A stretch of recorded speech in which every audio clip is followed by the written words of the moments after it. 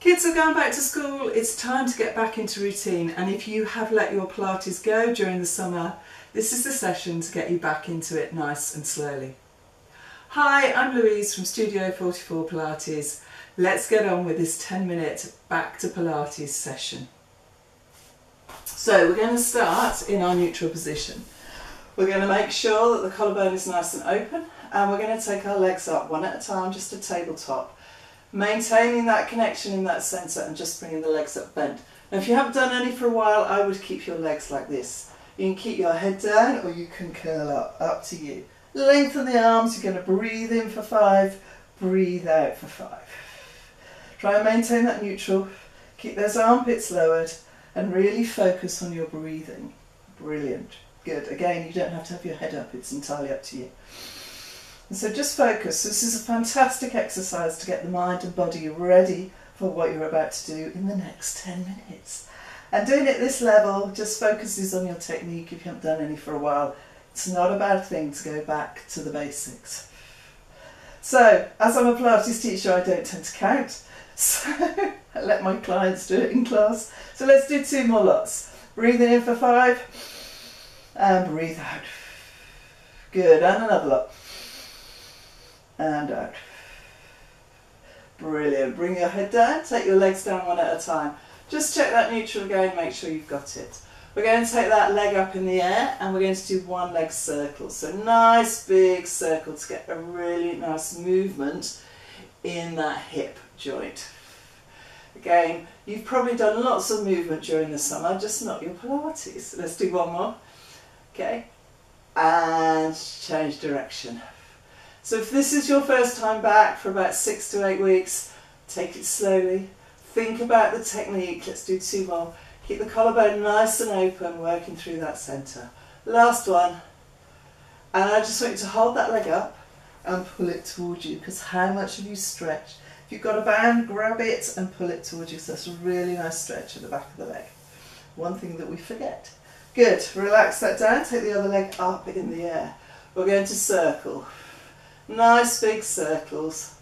Really working through that centre, but let the pelvis move. Good. And then change direction. Someone will put in a comment below that I have not done enough circles and I apologise. Brilliant. Good, last one. Excellent. And then bring that towards you. You don't have to curl up, it's just me, I do. And we're going to get a nice stretch down the back of that leg. Brilliant. Take that leg down. If you can, take your arms above your head and I just want you to curl up. If you need to hold on, do so as you come up and sit nice and tall. Brilliant. So we're going to take it into the roll up. Again, if you haven't done this for a while or you know that you can't get from the floor, don't go to the floor. We're going to lengthen the legs, lower the armpits, tilt, bring that tailbone underneath you. Keep tilting, keep engaging through that centre and then take it down, breathing out as you do so. Now if this is as far as you can go, that's fine. If you can get it down to the floor, go there. Breathing in, breathe out as you come up, sitting nice and tall. And I just want you to sit up tall to start with. And again, going back. Squeeze those glutes, send those tailbones towards your heels, lengthen those feet away from you. Good. So you shouldn't be using your shoulders at all during this. Use this, pull up through this as you come up. We're going to do one more. Breathing out, squeeze those glutes, tilt, tilt, tilt, tilt. Excellent, good. And relax. Oh, I'm shaking here and I've been doing it. So I hope you're feeling all right. Brilliant. From here, we're going to bring those legs together and we are going to take it into rolling back. So we're going to look at our tummies, take our feet off the floor, tilt, really tilt, hold it to a point where you know that you can just about hold it. Breathing in, breathing out. Good. Keep those armpits lowered. Breathe in, breathe out. If you find this hard, two things to really focus on. Keep looking at your tummies and focus on that breathing. Let's do two more. Breathing in, breathe out. Last one. Excellent. Good and relax. Well done. From here, we're going to take our feet down. We're going to go back into neutral. Okay, and we're going to take our legs up one at a time into our tabletop position. We're going to take it into one leg stretch. So if again, if you haven't done this before for a long time, keep your head down. If you have, just lengthen the leg and take the leg that little bit higher and lengthen. Good.